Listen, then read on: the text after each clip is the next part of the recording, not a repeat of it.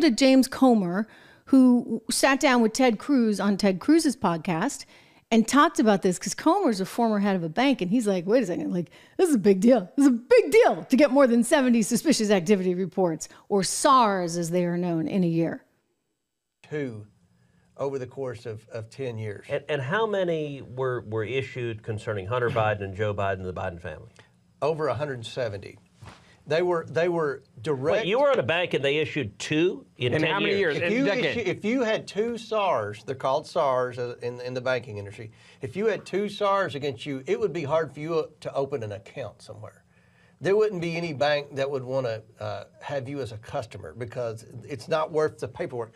Remember, when the bank files one of these, you could understand this, appreciate this, Senator. That's inviting the regulators to come in and regulate. Okay, that's the last thing the banks So want. 170 get filed. That means that somebody's getting a deposit in their account. It's a big amount. It's from somewhere suspicious. I mean, what triggers it? Why? Uh, You're a banker. what is it that makes you say we got to file, file a SAR? a large transaction that comes out of the blue. So and what's had- large? so- what, what is there a Well, threshold? From a you had- foreign you had country. mil- I'll use the Robinson Walker account because we subpoenaed. That was the first bank Okay. account we subpoenaed. now, who's Robinson So Walker? he, he, he explains Walker some more, but basically, you had all these different LLCs, and people are like, wait a second, why was he getting all this money from all these different places all over the world, all while not being registered as a foreign agent? Let me remind you this same guy, Hunter, I'm calling him a guy now, not a kid, because they want you to think like he's a kid. He's older than me. Okay. So this guy, Hunter Biden, with his various problems of which we don't even want to discuss on this show. Okay. I mean, this is one bad dude with a lot of bad bad stuff going on in his life.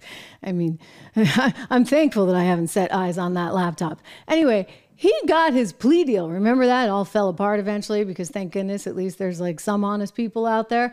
Well, his plea deal fell apart, but back when he thought it was going down everything was perfect, he showed up at the India State dinner at the White House. Let's look at this. he's in his tuxedo. He's He's trying to do more business for goodness sakes. and That's Jill what Biden, this is. This is Hunter Biden saying, How much more business can I get? I mean, it was just so unbelievably, wildly inappropriate. this is the Wildly inappropriate. You know, I get it. He's, he's his son. And Pops loves his son, wants to look out for his son. But at some point, like you do make a decision that my son is such a disaster and such a screw up that maybe I shouldn't be running for the president of the United States. Maybe it actually puts our national security at risk if, in fact, my son is getting paid by the Ukrainians who then want me to do X, Y, and Z to help out my son's employer. That's a problem. And he doesn't seem to want to recognize it.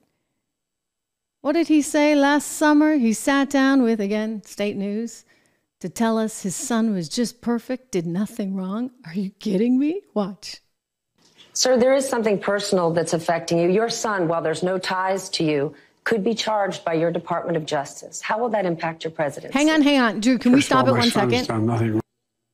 Do you notice how that reporter said, who has no ties to you? In other words, she's trying very hard, like all the media is doing, to say, okay, well, this is separate, right? It's your son. It doesn't mean that it implicates you, except it does when you're the guy who then goes and fires the investigator that's investigating your son's boss. Okay? Like, there you go. Okay, let's go back. He's my son did nothing wrong, nothing wrong. Sir, there is something personal that's affecting you. Your son, while there's no ties to you, could be charged by your Department of Justice. How will that impact your presidency? First of all, my son's done nothing wrong. I trust him. I have faith in him. And it impacts my presidency by making me feel proud of him. Oh. Oh, we're so glad you're proud of your son who illegally obtained a weapon. I, I think he actually pled guilty to that and then it got reversed, right? Because the plea deal fell apart. Your son who was doing work for all these countries and companies overseas, trying to influence policy, but never bothered to register as a foreign agent. Your son who oof, had some really, really sketchy stuff on his laptop. Your son, yeah, you're real proud of him. Whatever. Reminds me again of his dogs, like the 24 bites. Oh, I just love my dog, but I never bothered to actually raise my dog or train my dog, etc., etc., etc.